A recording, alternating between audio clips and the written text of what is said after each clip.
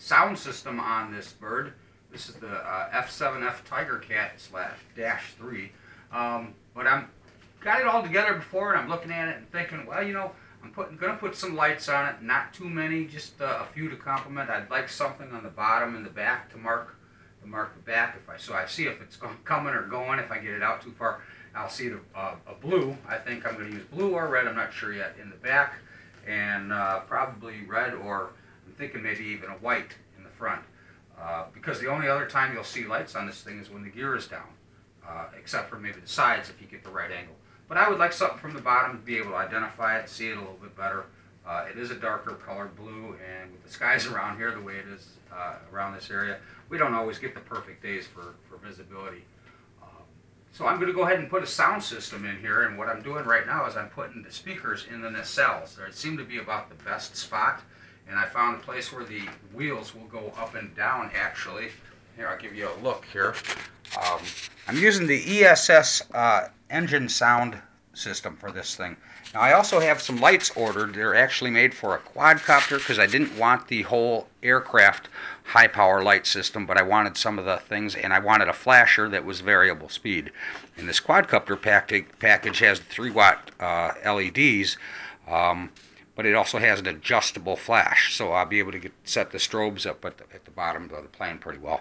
But anyway, I've put the uh, speakers, the transducers, on both nacelles on, on each side here and the wires just conveniently run right through and, and I had to make an extension. Uh, I made myself a little power pack so I could test things before I install them and make sure I had continuity, but I had to make an extension of leads between the speakers and the module that we'll be using for the sound, which is right here. Okay, and that's a Sense ESS uh, Air uh, sound. I've got loaded on here right now, I've got a uh, Wildcat sound and I believe a BF-109 I'm going to go search and see if I can't find the wildcat, or, or there's a wildcat, uh, but I'm going to see if I can find a tiger, Tigercat, or at least a, a good uh, set of twin, en uh, twin wasp engines like would be on this plane. So anyway, I've got the extensions running here. Here's the other one right here I had to hook up and just run through the nacelle. And now I'm just going to run it up right up and through under here and right into the right into the main part of the the fuselage and it just actually just slide just runs right in there real easy and came out the bottom here like this one did okay so I'm going to get this thing together and we'll give you a, a, show of how it sounds when I put it together and then uh, when we come back also I'm going to be doing the lights on this thing and we'll show you how I do that and, and where I put them so I'll be leaving this open for a while because I may be doing some lighting and I may run a couple of accent lights up underneath the doors in here uh, just to give a little ground effect. It look kind of cool when it's sitting, and uh, you know, obviously when it's flying, the doors will be shut. You probably won't see much, but when the doors open, it'll be a kind of a cool. I'm not sure blue lights or, or what I'm going to use under there. Something not too not too gaudy, not too uh, not too distinctive. I don't want to take away from the airplane, but uh, just for vis uh, visibility, would be kind of nice. All right, hold tight, guys. I'm going to throw this thing together, and we'll come back and, and check out the sound and uh, then after that we'll be doing on the on the lights. I'll give you a final look at this bird when it's completely 100% finished. Right now all the rates and throws and, and connecting uh, control surfaces are all hooked up. So uh, this is part one and uh, when you come back for part two it'll be the sound check and probably putting lights on. Hey guys. Okay, just taking the props off of this thing. We've got the speakers installed in the rear of the nacelles like you saw and I've got the wires all run forward here and now we're just simply going to install this unit and this is pretty simple now I've left the wires out here so it's real easy to get and we'll just tuck them up and roll them nicely into the back but I wanted to have enough access so if I needed to work away from this or run a cord in here and plug into the computer because I've, I've, uploaded now the Wildcat and uh, the BF109 and then I'm going to practice around with a couple of the other ones and see if uh, and I think there should be something else out there I could even buy if they don't have a, a the, the, twin engine. They've got a, a Stratofortress and a, a, a B-25 bomber, but it doesn't sound all that great, I didn't think. And it didn't sound like this one really sounds in real life. Uh, but the two I picked actually have kind of a, similar sound to the real bird. And let's see if I get this. Okay, we just hook these up to the one side to the other. Doesn't really matter. It's not stereo, but it is two speakers.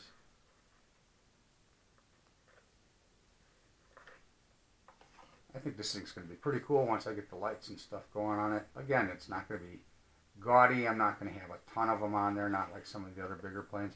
Uh, just enough for the accent and actual visibility so I can see it, knowing if, it, if it's coming or going. You know, sometimes you let them get out there a little too far and you say, is it coming or going? You got to do a left or a right to see which way it goes, get your orientation back. That's happened, not too often, but it does happen. So anyway, I'm just going to tuck this stuff down in here. Let me get a closer up view here for you guys. Mind my hand. That should do. You should be able to see what I'm doing here. Lighting is good enough. I've got the overhead light going. So anyway, I'm just hooking this thing up here, uh, the sound module. And the only thing left here is the, this is an auxiliary lead right here.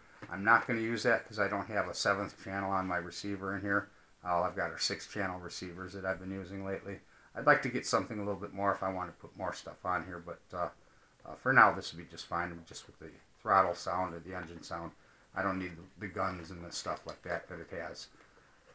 So this, and I'm going to be using an external battery to compensate uh, the weight for the speakers in the back.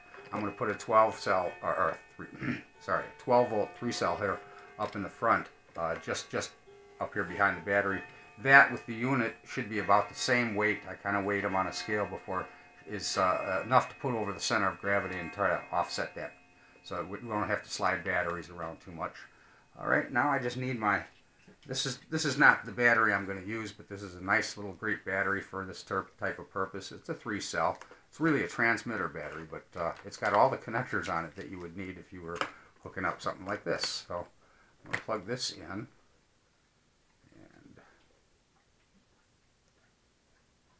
Now, I've already done a calibration on the module, so it should be ready set to go.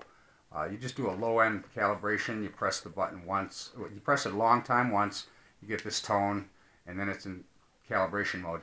Press the button once with your throttle in, in low position, and then it'll beep, and then you raise it up to the high position, press it again, and then you wait, and it'll go beep, beep, beep, and a long tone again, and it's ready to go. It'll start up, and then you just drop your throttle trim to actually cut the engine. That way it doesn't cut on you in flight while you're while you're flying. In theory, we don't know. Let's see, make sure it works, right? And that's this is, is this one I'm not using. This is this is my throttle. Okay, stand up here. We'll go up here to the receiver, and I've wired in a Y to the throttle connection, and we're simply going to plug those in together here so we're hooked in with the module and the throttle from the ESCs.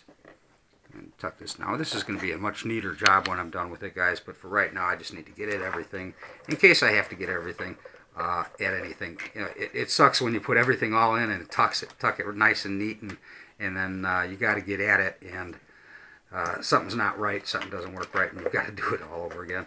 So I usually just go through this stage. It looks a little messy at first, but uh, but uh, here, sorry about that. I'll let you see a little bit more here. Uh, but I usually like to make sure everything's working before I tuck it all nice and nice and neat. So, you know, power on my radio here.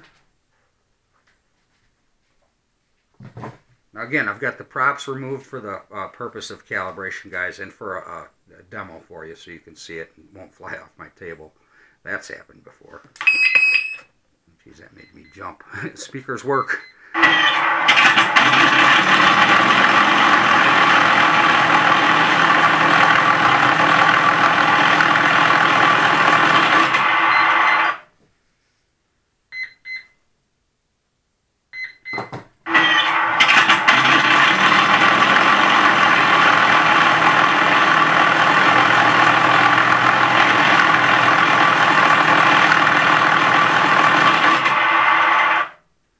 Okay, now what I just did was, uh, and I'll show you guys, here was, uh, um, I used the throttle position here, the throttle trim, to actually cut the engine. Now I can advance it up to here.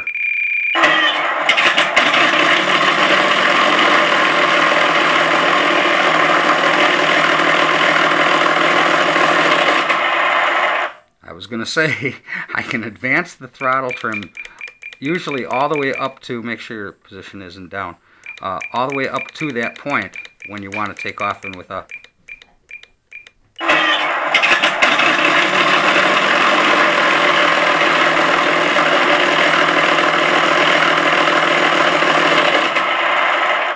Okay, I see when I land, I'm going to have to, and I want the engine to quit, I'm just going to have to toggle that down a few notches, and that's going to be about it. Otherwise, it should just even work like this.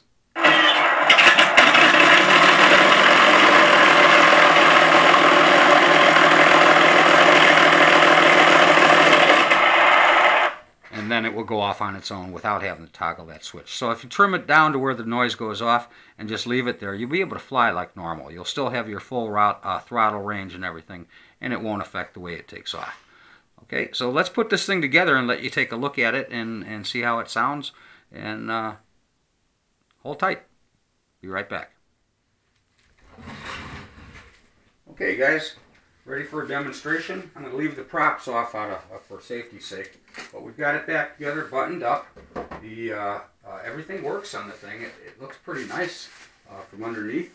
You can't really see. I haven't put the panels uh, in under there yet because I'm going to put, like I said, a couple of lights on here, and I'm, I'm kicking around the idea of a couple of inside lights inside the nacelle since I've got such access right now.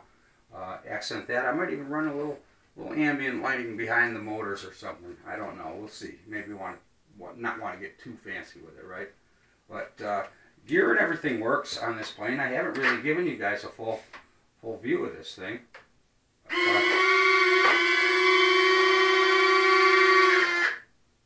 Everything looks pretty good.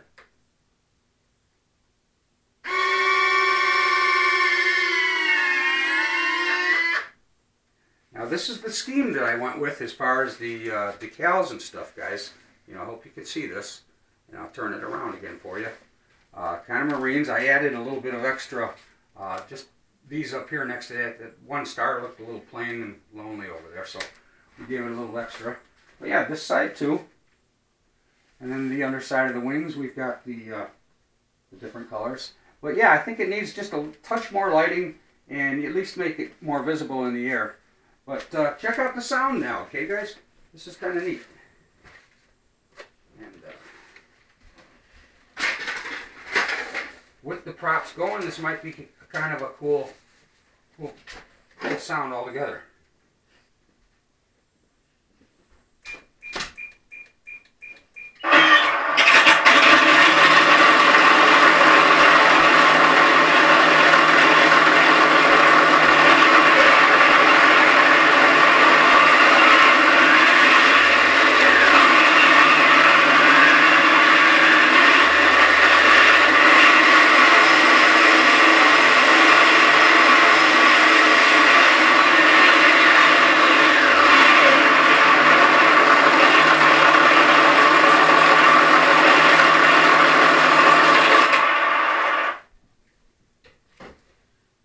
Hope it, guys. I'll be back when I get the lights done, and uh, we'll see you then. Thanks for watching. If you haven't subscribed, please do, and uh, it's free. Uh, if, if not, just simple thumbs up if you like this. If not, leave it be. Thank you. Have a good day.